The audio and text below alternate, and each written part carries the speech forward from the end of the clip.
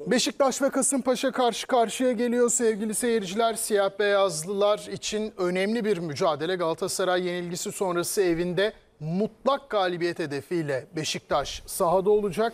Kasımpaşa geçen sezonki görüntüsünden uzak bu kesin. E, son olarak öne geçtikleri maçta Samsun Spor'a 4-1 kaybettiler ama öncesinde içinde 3-0'dan döndükleri Galatasaray mücadelesinin de olduğu bir 4 maçlık yenilmezlik serileri vardı. 3 beraberlik bir galibiyet aldıkları. Ahmet Hocam e, Kasımpaşa'nın Beşiktaş'a zorluk çıkarabilecek e, bir görüntüsü olduğunu düşünüyor musun? Düşünüyorum kesinlikle. Ben e, Kasımpaşa'yı Son haftalarda izlediniz mi onu da sorayım. izledim. Sezon başından beri izlediğim, yakından takip ettiğim takımlardan biri. Böyle sürekli bana ikilem yaşatan bir oyun gördüm onlardan. Bazen işte e, hiç beklemediğim kadar defansif yönde hatalar yapan, e, bazen de geçiş hücumlarını o kadar iyi yapıyorlar ki, yani burada çok etkili e, yaptıkları hücumlarla çok rahatta pozisyon üreten, gol bulabilen takımlardan bir tanesi. E, defansif yönde ne e, kadar zorluk çıkaracaklar? E, yarın e, bir onu görüyor olmamız lazım. Çünkü Beşiktaş için de bu maçın ayrı bir özelliği mutlaka kazanılması gereken bir maç. Galatasaray maçından sonra Beşiktaş'taki son durum ne onu bilmekte gerçekten zorlanıyorum. Ve şu konuda bir endişem var. Tabii şu an haklı haksız tartışmalarını hiç açmayalım. Oraya hiç girmeyelim. Ama Van Bronckhorst'ta sezon başından beri bir teknik adamın yapması gereken her şeyi benim buradan gözlemlediğim kadarıyla doğru yapan çok iyi bir teknik e, adam görüyordum. Bu o şu an onun şu an kötü olduğu anlamına hiçbir zaman gelmez bu söyleyeceğim ama e, Galatasaray maçından sonra her şeyi hakem üzerinden okudu. Yani ben futbolculara hatta yöneticilerin, taraftarların, teknik direktörlere bile kesinlikle mazeret vermemeleri gerektiğini düşünüyorum. Bu mazeretler takıma da çok olumsuz yansıyabilir. Kaldı ki Beşiktaş'ın bir dezavantajı da şu oldu. Sezona en iyi başlayan takım, en formda başlayan takım ve belirli bir oyunla başlayan takım ama ilerleyen haftalarda bunu sürdürmenin zorluklarını yaşayacaktı Beşiktaş. Biraz da kadro derinliğinin derinliliği olmamasının beraberinde getirdiği bir sorunla Avrupa programı da yoğunlaştığında o sıkıntıları artık yavaş yavaş hissetmeye başlayan bir Beşiktaş takımı var. Ne kadar iyi konsantre olabilecekler e, maça ondan çok emin değilim. E, eğer Beşiktaş oyunun başından sonuna kadar bu konsantrasyonun biraz gevşetebilirlerse rakip her zaman e, tehlikeli ataklar geliştirebilir ama ben yine de tartışmasız maçın favorisi Beşiktaş. Beşiktaş'ın da bu maçı kazanmasını bekliyorum. Benim için önemli olan tamamıyla takımın, teknik heyetin taraftarla birlikte iyi oyuna konsantre olduğu ve iyi oyunu ön plana çıkarak elde edecekleri bir galibiyet olacak. Şenol Hocam. Aa, Ahmet Hocam çok güzel izah etti aslında Kasımpaşa'yı. Geçen sene çok istikrarlı bir şekilde ligi bitirdiler. Evet. Çok da performans olarak da iyiydiler ama bu sene bir dengesiz bir yapı var Kasımpaşa'da gerçek. Ben de zevkle izliyorum maçlarını. Geçen sene hatta çok gollü maçlar oluyordu. Bu sene de oluyordu. Çok iyi bir takım Kasımpaşa. Yani çok iyi orta saha oyuncular var. Forvet oyuncuları iyi. Yani zaman zaman savunmada çok büyük hatalar yapıyorlar. Bu sene bir dengeyi sağlayamadılar. Oturtamadılar tam oyunların herhalde. Öyle düşünüyorum.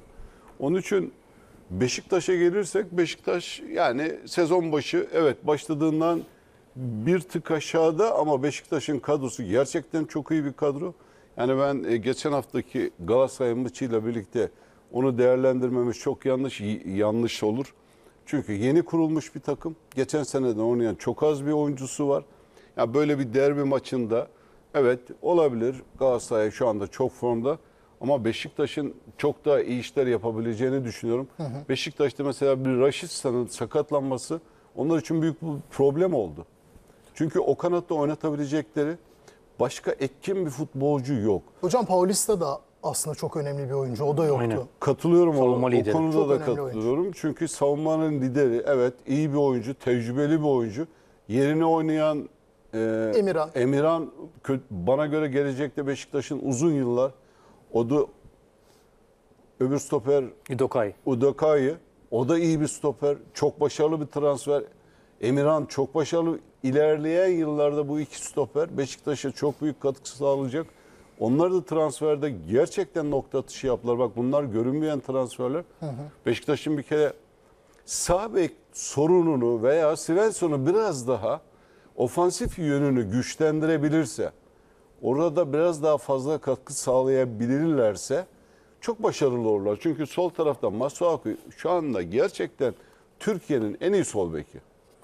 Türkiye'de oynayan sol bekler içinde bir numara yani bir sol bek gibi bir sol açık gibi dripling yapabiliyor, iyi orta yapabiliyor.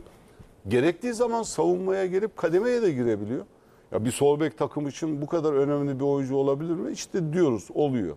Nasıl Osayi Samuel Beş, e, Fenerbahçe için önemli bir bekti, Ferdi önemli bir bekti. Masuaku için ben aynı şeyi söylüyorum. Ben çok beğeniyorum. Orta sahası gerçekten iyi. Mesela Galatasaray Fenerbahçe şey Galatasaray Beşiktaş maçından önce burada Ahmet hocamla galiba değerlendirme yaptık. Şimdi orta sahasına bakıyorsun. Şerendur, Gerson Fernandez, Rafa Silva. Çok güçlü bir orta saha.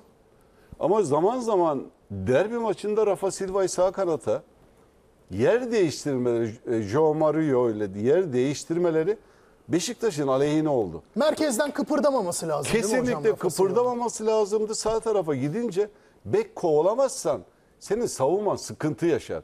Rafa Silva'yı da bek kovalatırsan ondan da fazla bir şey bekleme. Hücumdaki verimliliği. Hücumdaki verimliliğini alamazsın şimdi. O tarafta zaten Svensson, Svensson'un olduğu yere geldi. Svensson yeterli üretkenlikte değildi. Bence Rafa Silva'nın oynayacağı tek güzel yer yani çok güçlü bir orta sahan olursa kanata koy. Ama şu anda Immobile'nin boşalttığı yerlere koşuları çok iyi yapıyor. Orta sahadan ekstra boyunca hem toplu hem topsuz. O aralara sızmaları çok inanılmaz güzel yapıyor ve girişinde de hep gol buluyor. Ha burada bir sözüm de sezon başından beri hep biz Semih'i öv- övdük, övdük. Semih, evet ben çok seviyorum ama Semih son Galatasaray maçında orada sıfırdan iki tane arkadaşım boşken o pası vermiyorsan oturup biraz kafanı taşlara vuracaksın. Bak biz seni sezon başından övdük. Ben hala seviyorum. Ben hala değil. Genç oyuncu olsun benim başım üstüne hangi takımda oynarsa oynasın. Yani çok iyi futbolcu, sevdiğim bir oyuncu.